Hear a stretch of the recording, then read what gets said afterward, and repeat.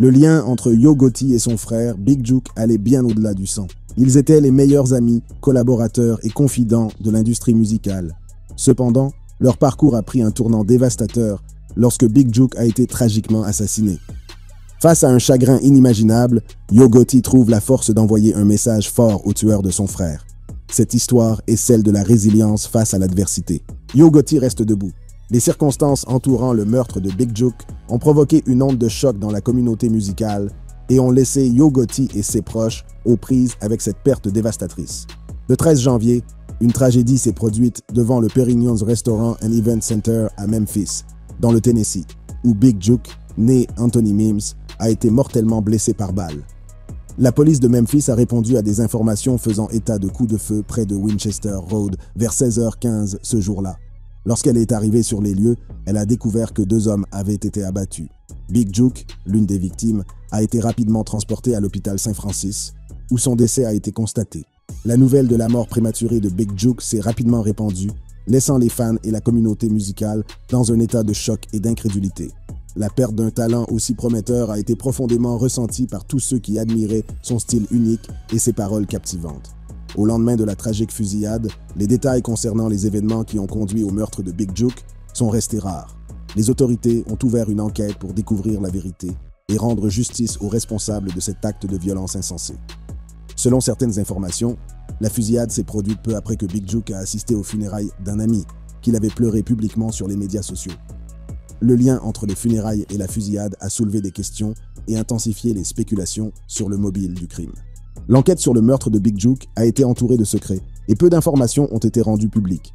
Cela n'a fait qu'attiser la curiosité et les spéculations sur les circonstances de sa mort. Les autorités travaillent avec diligence pour reconstituer les événements qui ont conduit à la fusillade et identifier les personnes impliquées.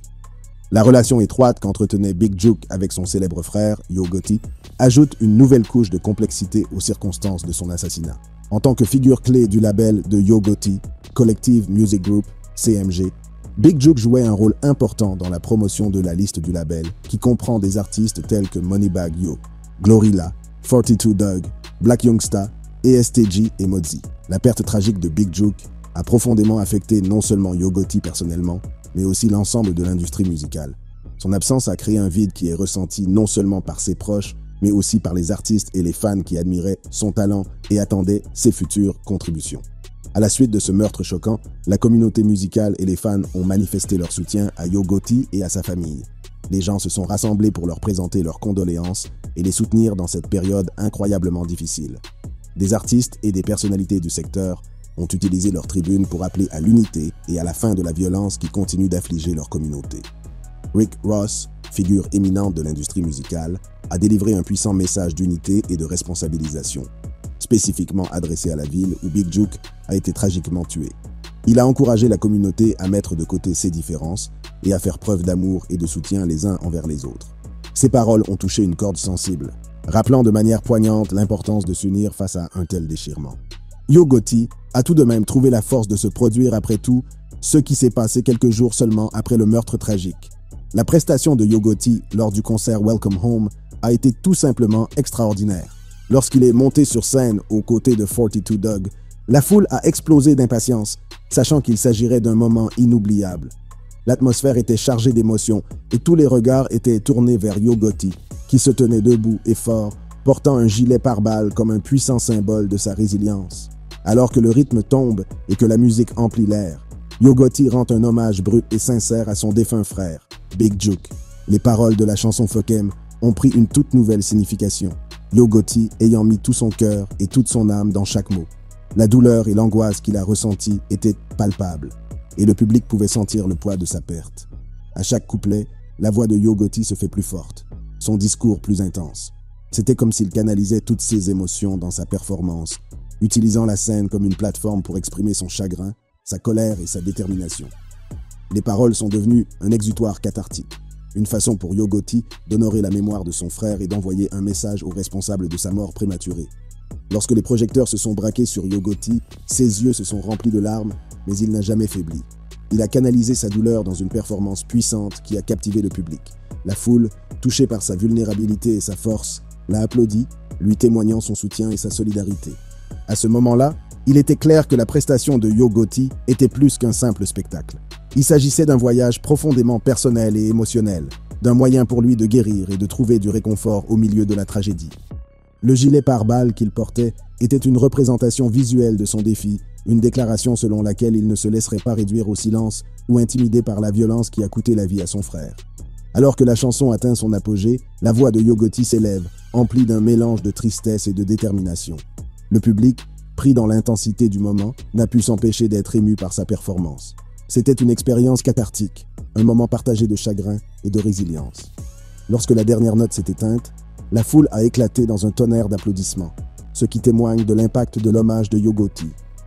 Il avait mis son âme à nu sur cette scène, et le public avait assisté à quelque chose de vraiment extraordinaire. Cette performance restera à jamais gravée dans les mémoires. L'hommage émouvant que Yogoti a rendu à son frère pendant le concert est un puissant rappel de la force de l'esprit humain. Il témoigne du pouvoir de la musique de guérir et d'unir, même face à une perte inimaginable. Grâce à son art, Yogoti a créé un moment de catharsis, un espace de guérison et de souvenir. Alors que le concert se poursuivait, l'énergie dans la salle est restée électrique. Le public, inspiré par la résilience de Yogoti, a adopté la musique et le message qu'elle véhiculait. Ce fut une nuit de célébration, d'hommage aux vies perdues et de recherche d'espoir au milieu des ténèbres. Le meurtre tragique du frère de Yogoti, Big Juke, a eu un impact profond sur sa vie personnelle et professionnelle. La perte d'un être cher est toujours dévastatrice. Mais pour Yogoti, c'est un événement qui a changé sa vie et l'a profondément ébranlé. Big Juke, né Anthony Mims, était non seulement le frère de Yogoti, mais aussi un élément essentiel de son label, Collective Music Group, CMG. Leur lien allait au-delà des liens familiaux, car Big Juke jouait un rôle important dans la promotion de la liste d'artistes talentueux de CMG. Il a contribué au succès d'artistes tels que Moneybag Yo, Glorilla, 42 Dog, Black Youngsta ESTG et Mozi. La tragédie du meurtre de Big Juke a provoqué une onde de choc dans l'industrie musicale et dans la communauté. Yo Gotti, connu pour sa force et sa résistance, a été confronté à une perte inimaginable. La douleur et le chagrin qu'il a ressenti sont incommensurables, et son bien-être personnel en a souffert. À la suite de la mort de son frère, Yo Gotti s'est retiré de la scène publique, cherchant le réconfort et le temps de surmonter ses émotions. Il a choisi de ne pas commenter publiquement le meurtre de son frère sur ses plateformes de médias sociaux gardant son chagrin pour lui. Cette décision reflète la nature profondément personnelle de la tragédie et la nécessité pour Yogoti de surmonter son chagrin à sa manière. Sur le plan professionnel, la perte de Big Juke a laissé un vide au sein du CMG. Sa contribution dans le domaine des affaires était inestimable et son absence a été profondément ressentie. Le label a dû se regrouper et trouver des moyens d'aller de l'avant sans ses conseils et son expertise. Yogoti et toute la famille CMG ont traversé une période difficile pleurant la perte d'un membre bien-aimé et s'adaptant à une nouvelle réalité. Malgré l'immense douleur qu'il ressentait, Yogoti a pris la décision courageuse de remonter sur scène lors du concert Welcome Home. Sa prestation en gilet pare-balles témoigne de sa force et de sa détermination à poursuivre sa carrière musicale, malgré la tragédie qui l'a frappé. Yogoti et Big Juke partageaient un lien qui dépassait la simple fraternité.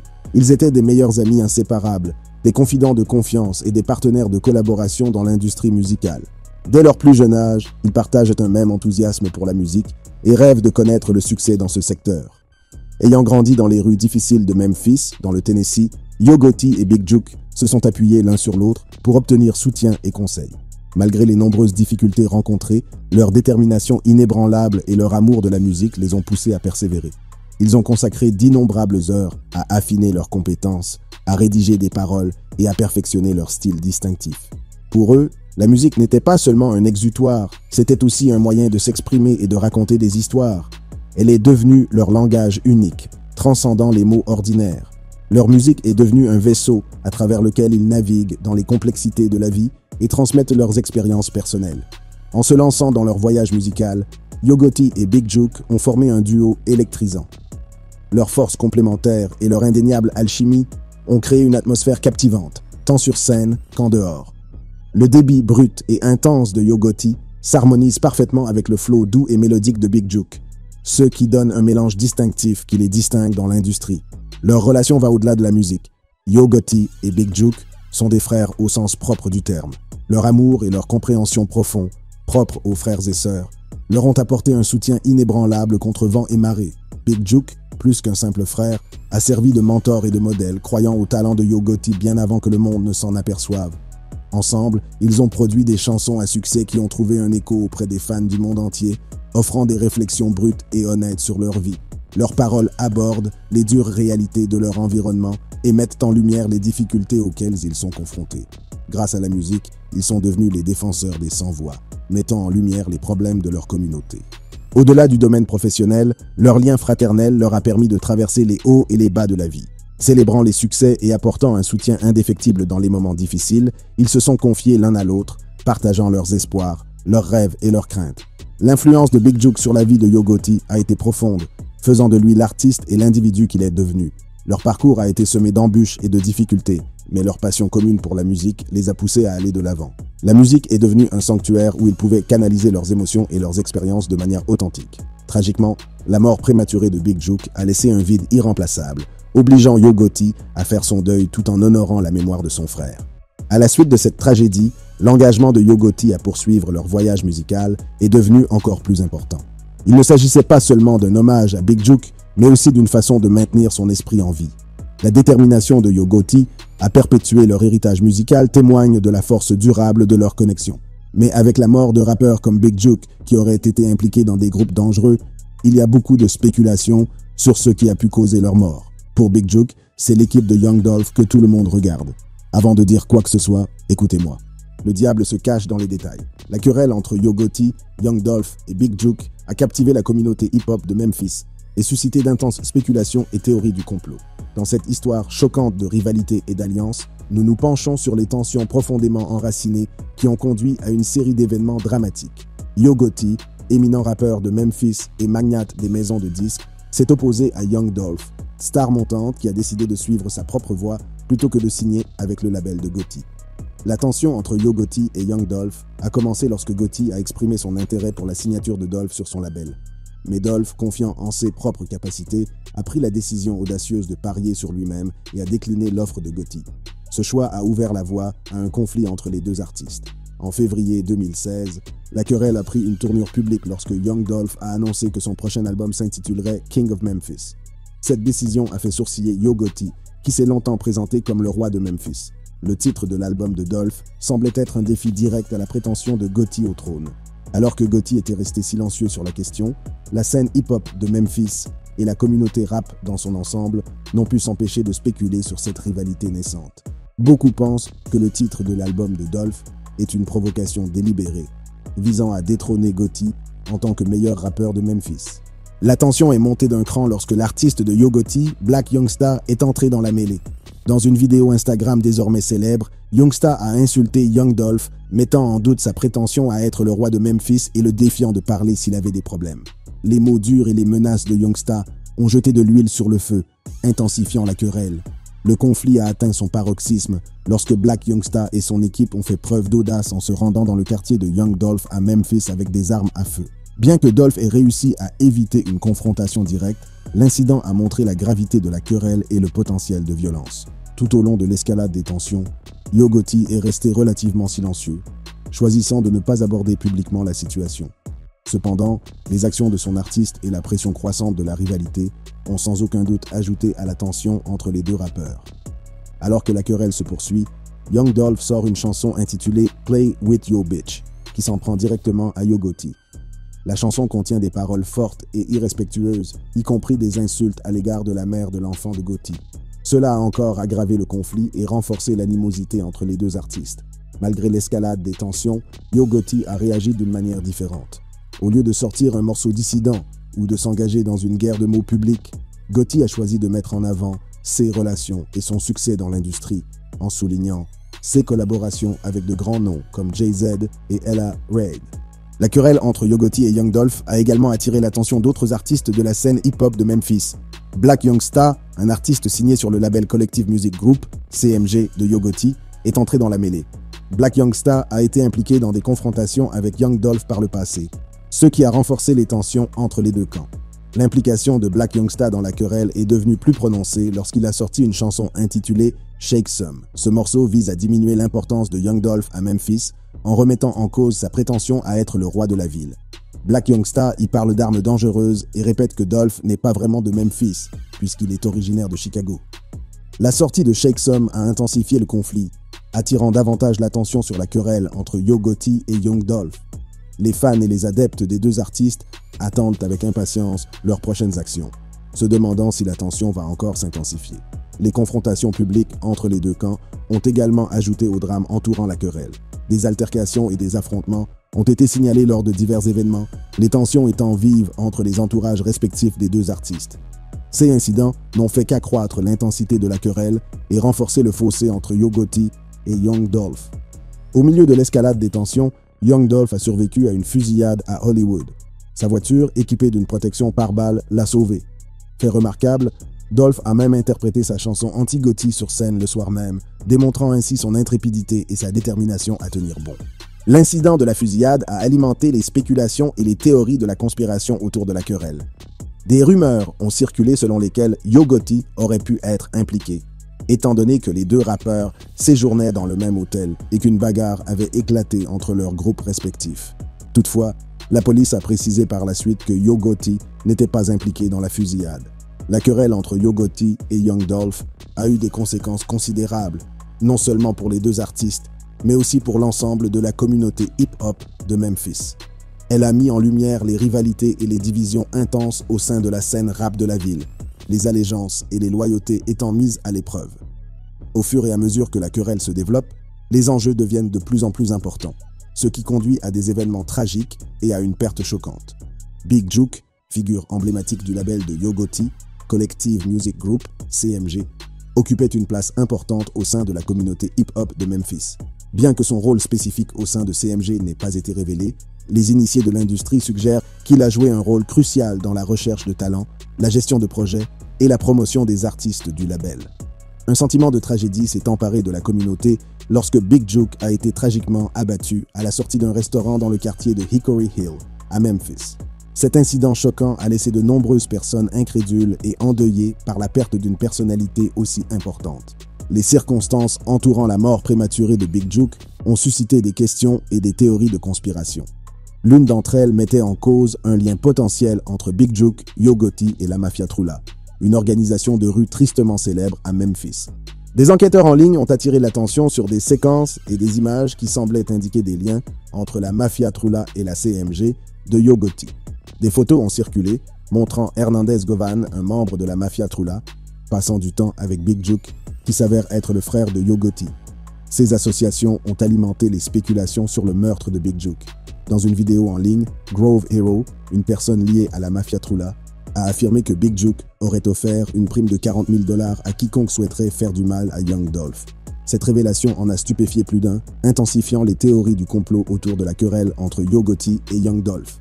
Bien que la police ait interrogé Big Juke au cours de son enquête, les détails de leur interaction ne sont pas encore clairs. Cependant, la communauté en ligne a rapidement pointé du doigt. Beaucoup accusant Yogoti, Big Juke et CMG d'être à l'origine de la malheureuse disparition de Young Dolph.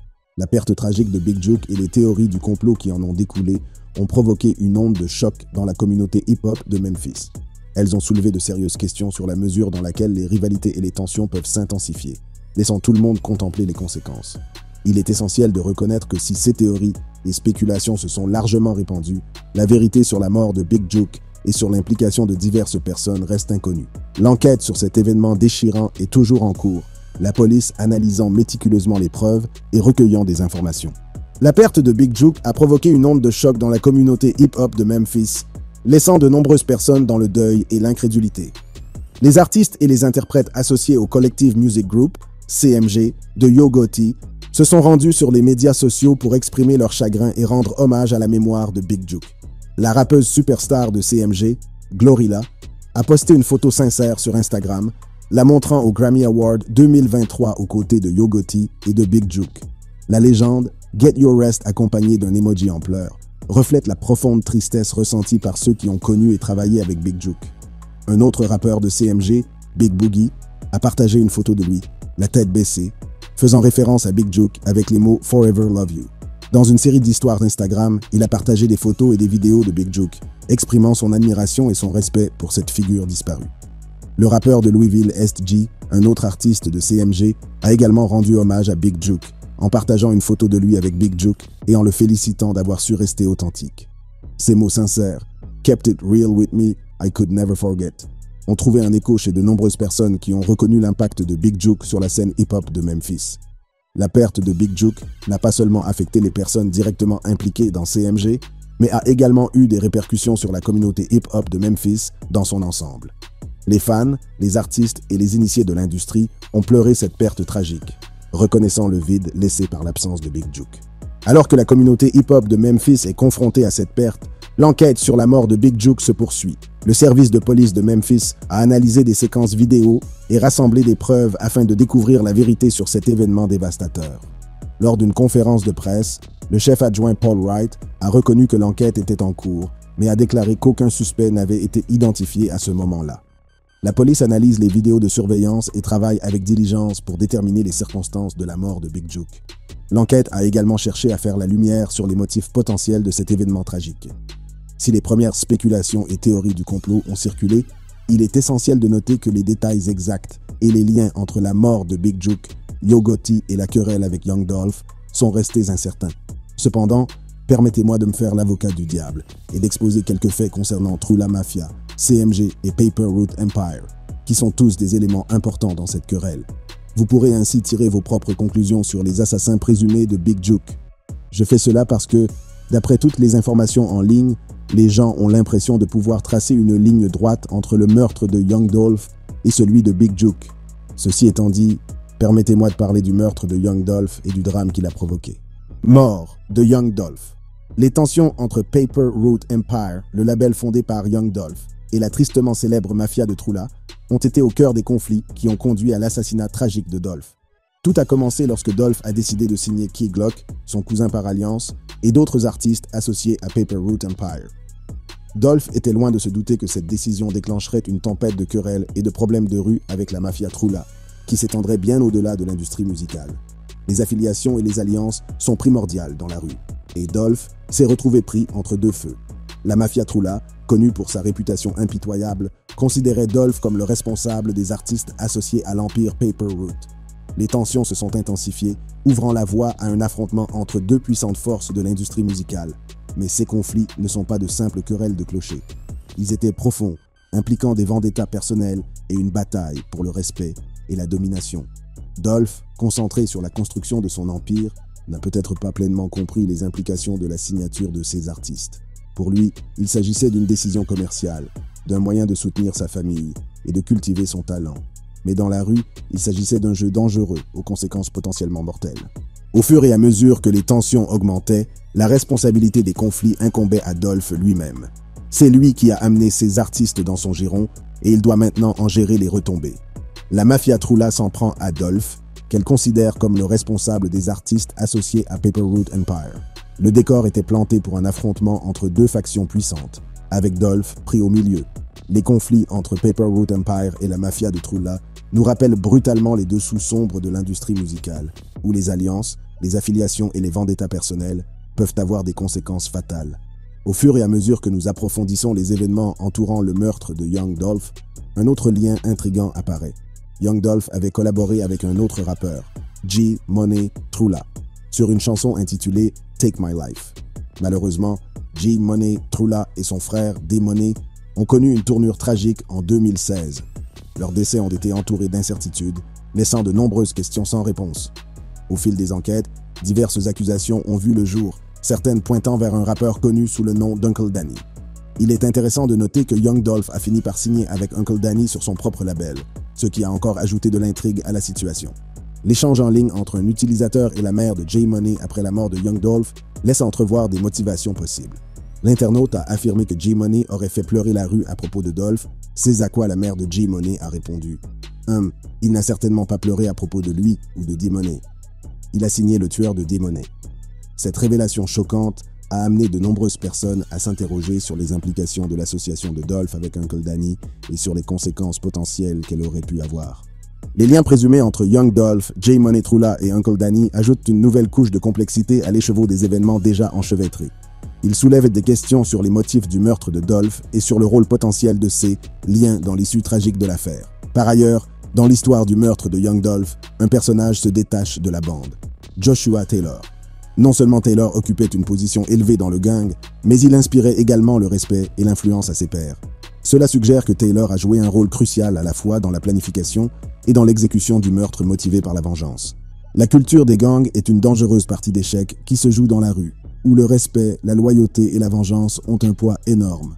Dans cette affaire, les conflits entre Trula Mafia et Paperroot Empire, les tensions entre les artistes de Young Dolph et Trula Mafia, et les liens présumés avec J. Monetrula et Uncle Danny ont tous contribué à une situation explosive.